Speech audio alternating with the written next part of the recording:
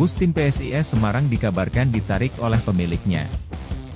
Sehingga Taisei Marukawa CS harus menggunakan bus pelat merah milik Pemkot Semarang.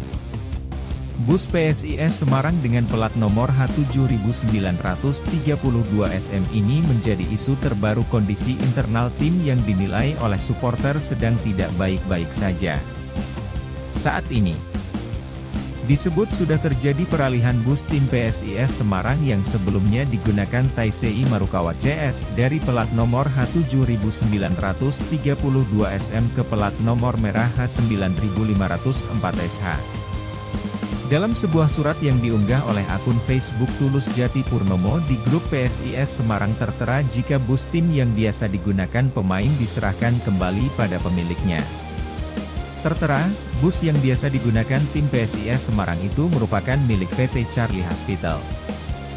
PT Charlie Hospital merupakan perusahaan yang bergerak di bidang kesehatan atau rumah sakit milik Komisaris Junianto. BPKB bus tersebut juga atas nama PT Charlie Hospital yang merupakan sponsor utama PSIS Semarang musim ini. Serah terima pengembalian bus itu dilakukan per tanggal 13 Januari 2023, dan ditandatangani oleh kedua belah pihak, yakni pihak pertama PT Mahesa Jenar dan PT Charlie Hospital. Sementara di akun Instagram Forzapsi 1932 mengunggah foto bus pengganti yang digunakan oleh PSIS Semarang. Dalam unggahan itu terlihat bus lawas PSIS Semarang yang digunakan pada musim-musim sebelumnya.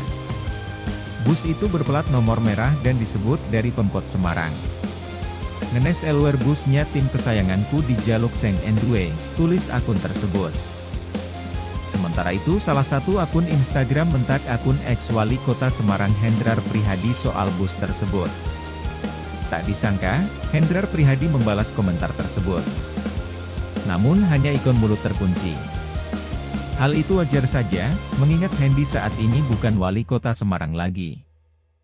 Bus memang menjadi persoalan serius bagi sebuah klub profesional, apalagi tim sebesar PSIS Semarang yang serius menjadi penantang juara liga dan diisi pemain top seperti Taisei Marukawa dan Carlos Fortes.